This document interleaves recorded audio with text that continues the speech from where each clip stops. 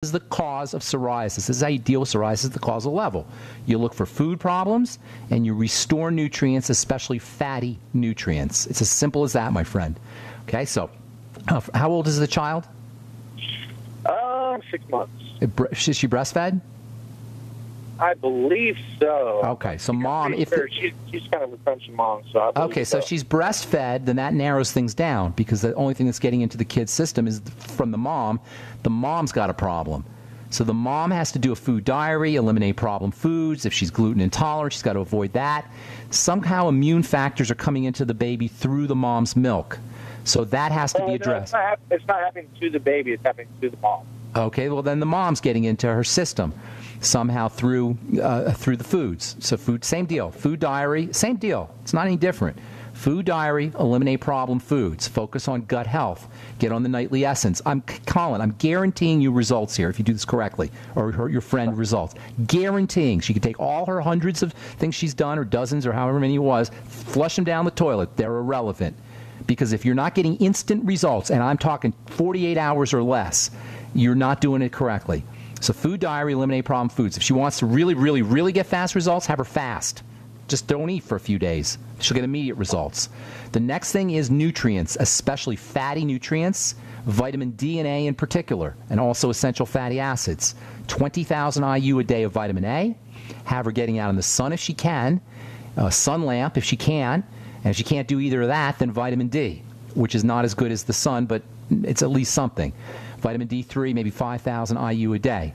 Then essential fatty acids, the ultimate EFAs, nine of them a day. If she has gas or bloating or any discomfort after she takes these, that's a sign that she's not absorbing, which is very likely to be occurring.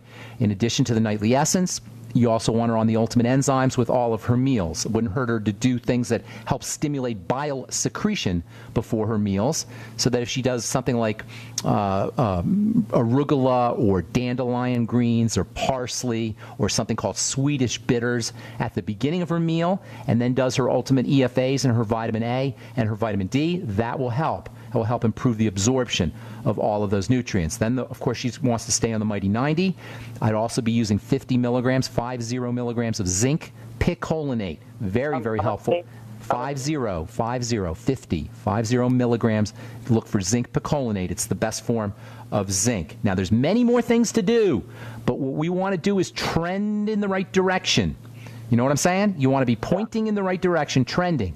She- Once she starts this program, she will notice results in 48 hours. I'm not saying she'll be completely cured, but she'll notice results. That's, that's how you know you're trending in the right direction. There's many, many more things to do. You might also want to try uh, topical vitamin A and D. Even my retinol healing, uh, retinol 5% cream might help her. Uh, applying that maybe once or twice a week on the plaques. Vitamin, vitamin A and D or A and E. A and D is in David. E wouldn't hurt her either, by the way. The E is not going to hurt, but not as signi- it's not as significant as the D. I didn't give you everything. I just got you got you started on the program. Colin, I got to motivate. Now everybody's calling me. Now that I have three minutes left. Thanks for thank you for your call. Drive safely, buddy, and happy New Year, my man. All right, uh, Juanita in California. Welcome to the bright side. Oh, What's up? I'm here. Hi, Juanita. Hi. Hey, Um, can you hear me okay? I can, but I hear other people okay as okay, well. I, I, I just came out of the classroom. Um, oh, are you a teacher or a student? Yes, I am a teacher. You're a teacher. Where do you teach? yeah, I teach um, math and and uh, English. Oh, that's Seventh awesome. and eighth grade. Very nice. Where? Okay, oh, so my- dyslexic? Did you say dyslexic kids? No, they're uh, special ed children. Special ed children. Seventh and eighth graders. Uh huh. Okay, well, talk to me quick because I got a bunch of calls. Yeah, yeah, yeah. Um, I recently met a 19 year old who's been diagnosed with Graves' disease since the Yes. age of 14. Okay. And I thought I, I thought I heard you say autoimmune diseases Yes. are treated through the glands. No, treated through right? the digestive system. Graves' disease is an attack upon the thyroid. It's uh, you know I could give you the mechanism, but it doesn't really matter for reversing it. You got to calm the body down.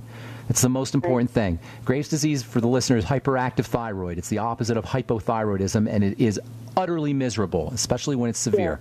Utterly, utterly. It's Right. worse than So I was hypothyroidism. depressed, all of that, yeah. Oh my God! Can you imagine being for the listeners just revved up all the time? Like well, you're sweating and your blood pressure goes up and you're dizzy and you can't digest your Oh. food and your hair is oh. all all oily. It's just awful. So here you got to uh-huh. calm the body down. It's a sign of hyperactivity following an attack. So calming the body down by fasting is the first thing I would do, or at least All right. caloric restriction. Okay, fasting and caloric restriction, that will calm the body down.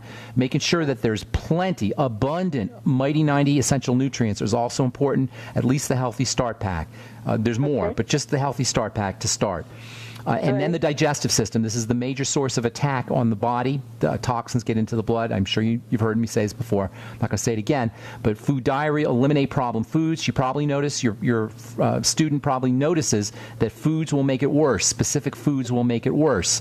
For Graves' Yeah. disease patients, they will notice that when they eat a specific food, their symptoms get worse. That alone is all you need to see, folks. That's what you need to see. Uh-huh. That's all you need to notice.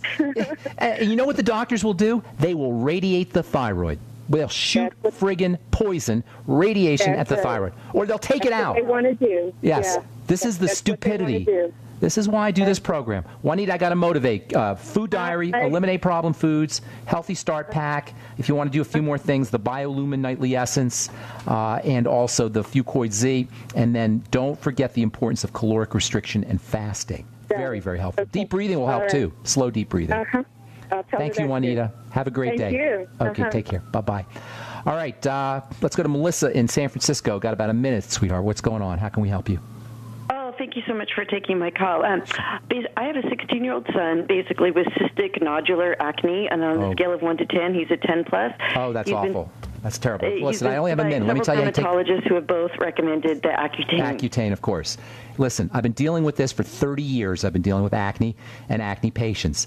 The, the worse it is, the easier it is to reverse. That's the great news. The worse your acne is, the quicker it is to reverse, and the easier it is to reverse. Right away, you got to get him on a food diary and eliminate problem foods. If you can get the kid to fast, that will be helpful. He is screaming digestive problems. And Melissa, I'm not psychic, but I'm telling you, guaranteeing you with 100% certitude, this is a kid who's had digestive problems for a long time.